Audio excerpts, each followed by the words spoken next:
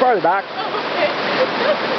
So, what are you thinking about your Brown Browns River experience? amazing. Absolutely amazing. I do have to. If you had a tent and a sleeping bag and were to close your eyes, you'd probably fall asleep to this roaring water. Uh, yeah.